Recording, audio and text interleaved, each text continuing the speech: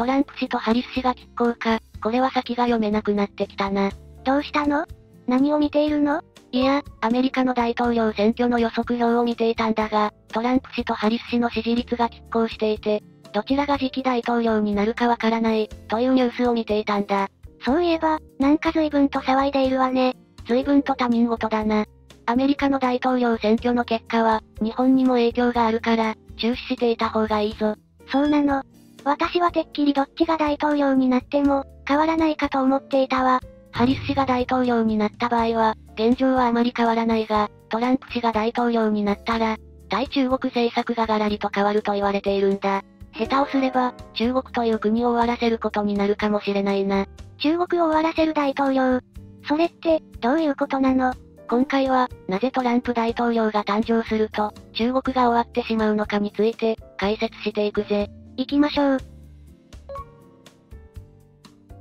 トランプ氏と中国といえば、まず真っ先に出てくる言葉が、中国との貿易戦争だろうな。貿易戦争？貿易戦争とは、一方の国が相手の国に関税や制裁を課して、相手の国もその対抗措置として、経済的な締め付けを行うことだな。軍事力を伴わない、経済力を使った戦争とも呼ばれているんだ。トランプ氏は、中国に対してその貿易戦争を仕掛けたってこと？そうだな。トランプ氏は、2017年から2021年まで大統領を務めたんだが、在任中に中国に対して、何度も経済的な締め付けを行ったんだ。具体的には2018年と2019年に、段階的に中国に対する関税を引き上げたんだ。関税を引き上げる。でも、そんなことをしたら中国も対抗措置を出すわよねそうだな。実際、中国はアメリカに対して、報復として関税を設けたんだ。その結果、アメリカと中国はお互いに、高い関税を掛け合う形になってしまったんだ。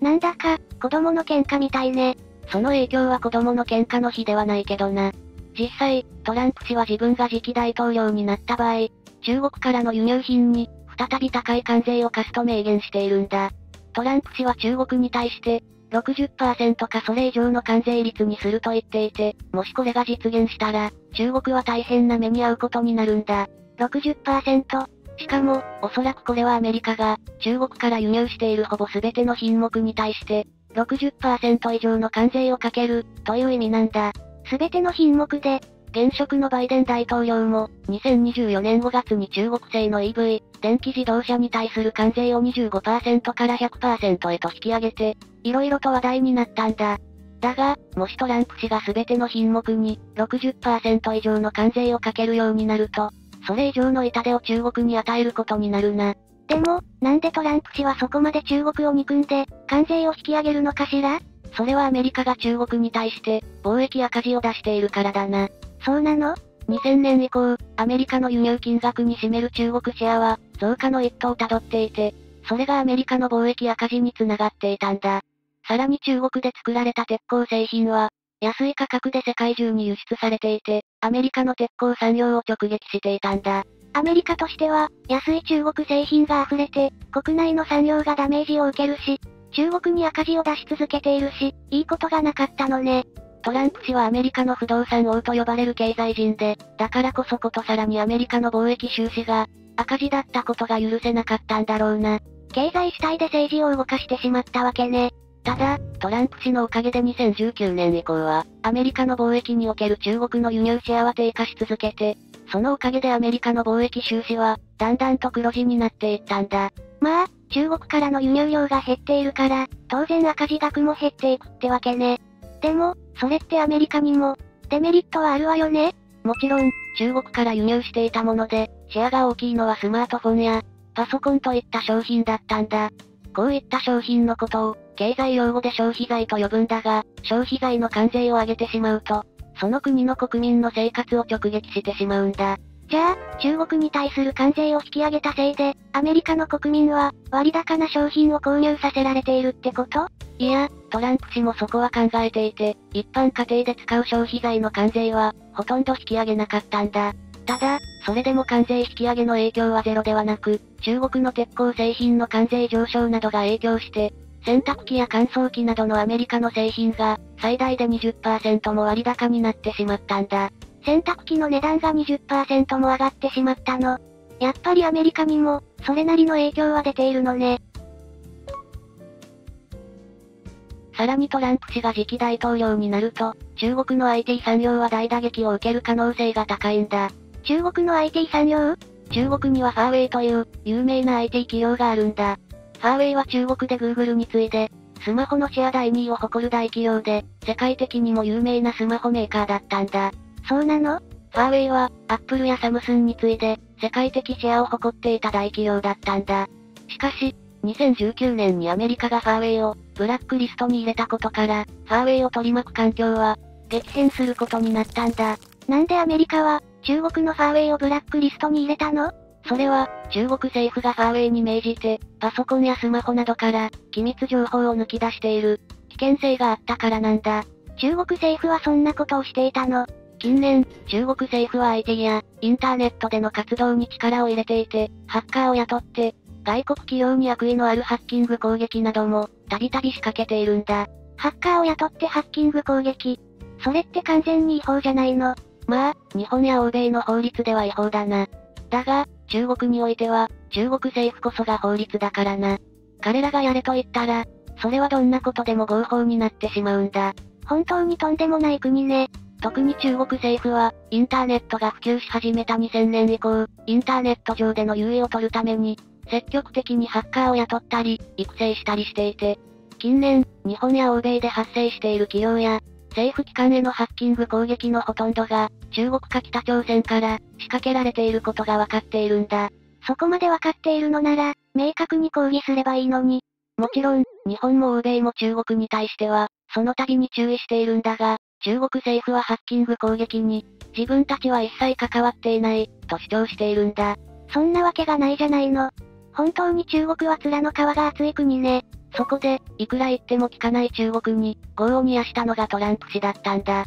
トランプ氏は在任中に、中国のファーウェイをテロ企業として指定して、アメリカ市場からの締め出しをし始めたんだ。グローバル企業だったファーウェイからしたら、かなりの痛手よね。2022年には、ファーウェイ製品の、アメリカでの販売も禁止になったんだ。さらにアメリカ以外にも、欧米諸国でも次々と規制対象として、ブラックリスト入りになって、イギリス、オーストラリア、カナダ、フランス、スウェーデンも、ファーウェイ製品を規制し始めたんだ。悪いことをしたら、自分に返ってくるといういい例ね。トランプ氏は特に中国のファーウェイを敵視していて、彼が次期大統領になると、ファーウェイや他の中国企業に対して、さらに厳しい輸入措置を取る可能性もあるな。じゃあ、中国の IT 産業は、トランプ氏が次期大統領になったら、かなり恐ろしい目に遭うことが確定しているわけね。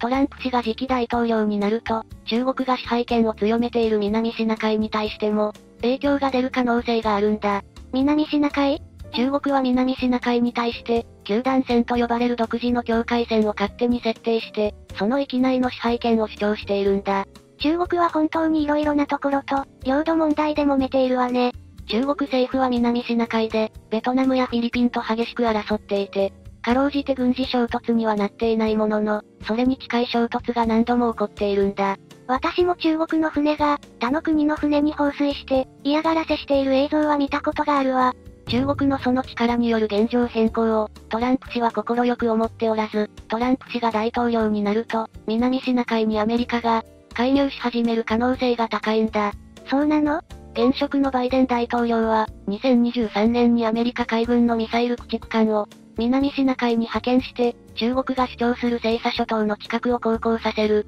航行の自由作戦を実施したんだ。航行の自由作戦中国政府は、アメリカのこの作戦を受けて、アメリカは南シナ海の平和と安定にとって、最大の破壊者だ、と抗議の声明を出したんだ。それぐらい中国にとって、アメリカが南シナ海に口を挟んでくるのが、嫌だったってことよね。トランプ氏は大の中国嫌いとしても知られていて、場合によっては南シナ海にさらに、ミサイル駆逐艦を派遣するなどの、強硬策を取る可能性もあるんだ。そうなったら中国にとっては、高校の自由作戦の悪夢が再来することになるわね。さらに中国にとって、読めないのが、トランプ氏の台湾政策だな。台湾政策？トランプ氏は在任期間中に、台湾に関して中国をたびたび牽制していて、トランプ大統領が在任期間中は、中国も台湾に対して、露骨な挑発は控えるようになったんだ。中国がトランプ氏を恐れたってことよね。じゃあ、トランプ氏が大統領に選出されたら、台湾においても、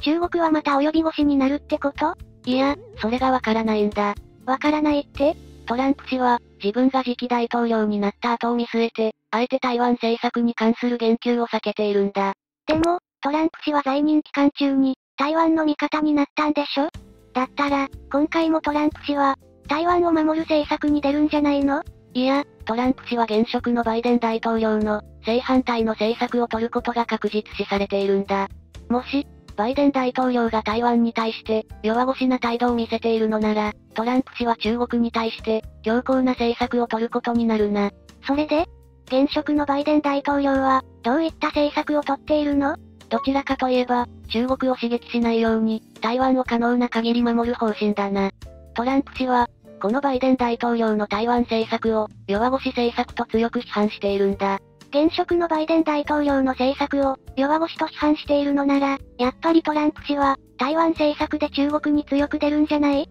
それがどうも、そう簡単な話ではなさそうなんだ。トランプ氏は台湾に対して、台湾は我々から仕事を奪った、と発言しているんだ。台湾は半導体の世界シェアで60%以上を占めていて、半導体に関しては、台湾が一人勝ちしている状況なんだ。そうなのね。その現状をトランプ氏は苦々しく思っていて、トランプ氏は台湾のことを、アメリカから半導体の仕事を奪った国、として見ているんだ。じゃあ、トランプ氏は台湾を助けないってことなの？それに関しては、わからないんだ。トランプ氏は良くも悪くも、損得感情のみで物を考える人で、台湾を守る方がメリットがあると考えたら、全力を持って台湾を守ると思う。ただ、逆に中国がアメリカに有利な条件を提示してきたら、トランプ氏は台湾を見捨てる可能性が高いな。じゃあ、台湾が助かるためには、中国よりもいい条件を、アメリカに提示する必要があるってことなのね。そういうことになるな。特にトランプ氏は、ノーベル平和賞を受賞することを、目的の一つに掲げていて、ノーベル平和賞を受賞することが、トランプ氏にとっての悲願なんだ。あのドナルド・トランプが、ノーベル平和賞。もし、中国の台湾侵攻を事前に食い止めたとなると、ノーベル平和賞を受賞できる可能性も高まるからな。ノーベル平和賞を狙って、中国と台湾の両方に情報を強いる可能性もあるな。すごい個人的な思惑ね。台湾有事は、トランプがノーベル平和賞を受賞するための道具じゃないと思うけど。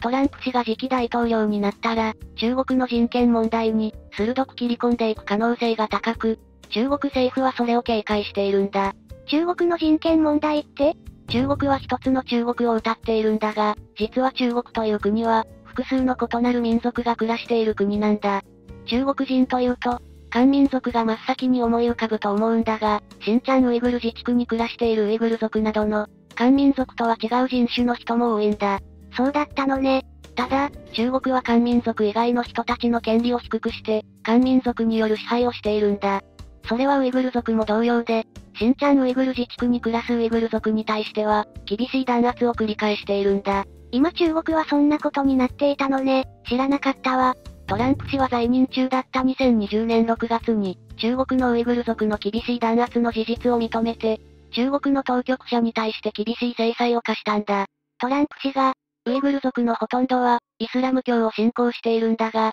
中国は一切宗教の自由を認めておらず、100万人以上のウイグル族のイスラム教徒を、強制収容所に拘束していると言われているんだ。中国はそんなに多くの人を、強制収容所に送り込んでいるの。トランプ氏は、人権問題についてはあまり触れてこなかったんだが、この時にいきなり、中国の激鱗に触れる行動をしたんだ。でも、なんでトランプ氏は、いきなりそんな中国の激鱗に触れるような、過激な行動に出たの？実はこの時にトランプ氏は、中国と貿易交渉をしていて、その交渉の一環として、中国に情報を強いる目的で、中国が嫌がることを色々とやっていたんだ。この時に提出された、ウイグル人権法案もその一つだったんだ。交渉を有利に進めるために、相手の嫌がることをして情報を強いるって、それはただの脅迫ね。しかも、トランプ氏は結局、このウイグル人権法案は承認はしたものの、適用することは見送ったんだ。つまり、どういうことなの？トランプ氏は、ウイグル人権法案をちらつかせて、中国に大きな情報をさせて取引を成立させたので、